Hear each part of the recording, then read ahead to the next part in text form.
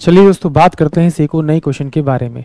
इस क्वेश्चन में एग्जामिनर ने कहा if A plus B plus C equal to में ten and A B plus का बी सी प्लस का C A equal to thirty two then A cube plus में B cube plus में C cube minus का three A B C is equal to यानी कि इसको solve कीजिए और बताइए कि इसका राइट आंसर क्या है। तो सेम दो तरीका है। एक तो आप डायरेक्ट इसके वैल्यू को सॉल्व कर दीजिए या इसके फॉर्मूले को सॉल्व कर दीजिए। या फिर यहाँ पर कोई एडजस्टमेंट लगाइए, इसको सॉल्व कीजिए। तो चलिए दोनों तरीके से करेंगे। मुझे ये मालूम है कि भाई ए का क्यूब प्लस में आपका बी का क्यूब प्लस में आपका सी का क्यूब माइनस का थ्री ए बी सी बराबर होता है आपका। आपका ए प्लस का बी प्लस का आपका सी ब्रैकेट के अंदर ए प्लस का बी प्लस में सी का होल स्क्वायर माइनस का थ्री ब्रैकेट के अंदर ए बी प्लस का आपका बी सी प्लस का आपका सी ए ये, इसकी वैल्यू सॉल्व करेंगे तो मुझे इसकी आंसर मिल जाएगा। तो देखिए A plus B plus C की वैल्यू मुझे टेन दे रखी है तो मैं यहाँ टेन रखूँगा तो ये टेन हो जाएगा आपका। ब्रैकेट के अंदर, ये टेन का स्क्वायर करूँगा तो मेरे पास में आपका हंड्रेड हो जाएगा माइनस का थ्री ए बी सी की वैल्यू कितनी, मेरे को थर्टी टू दे रखी है आपकी, इसकी वैल्यू तो मैं रखूँगा तो ये दस, सो माइनस का। बत्तीस दुनी कितना होता है आपका? बत्तीस तीन दुनी छः और तीन तीनों, बत्तीस और तिया। छियानवे। तो कितना होगा? टेन इंटू में आपका फोर यानी कि फोर्टी इस क्वेश्चन का करेक्ट आंसर आएगा। यानी कि ऑप्शन जो बी है, वो इस क्वेश्चन के लिए करेक्ट होगा।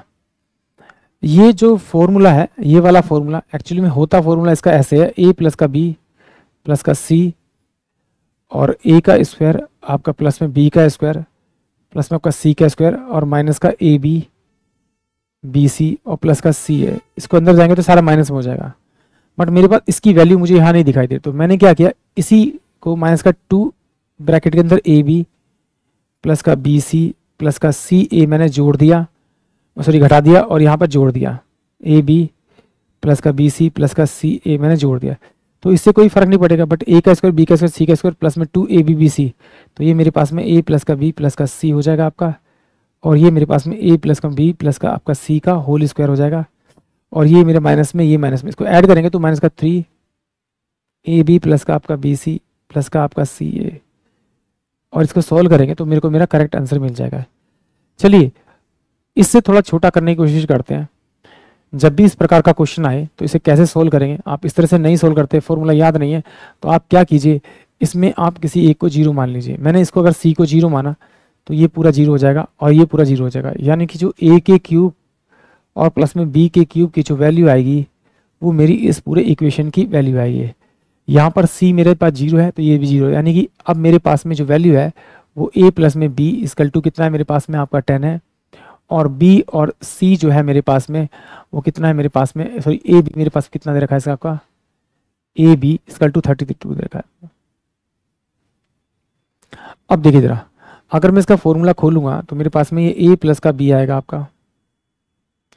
ब्रैकेट के अंदर ए का स्क्वायर प्लस में आपका बी का स्क्वायर और माइनस में ए बी ये इसका फॉर्मूला होता है A cube minus A cube plus B cube का फॉर्मूला होता है। अगर मैं यहाँ पर टू ए बी इसमें जोड़ दूँ और टू ए बी में इसमें घटा दूँ तो ये ए प्लस का बी ब्रैकेट के अंदर ए का स्क्वायर बी का स्क्वायर प्लस में टू ए बी यानी ए प्लस के बी का ये मेरे पास होल स्क्वायर का माइनस का थ्री ए बी हो जाएगा आपका। आप देखिए एक इसकी वैल्यू मेरे पास टेन है।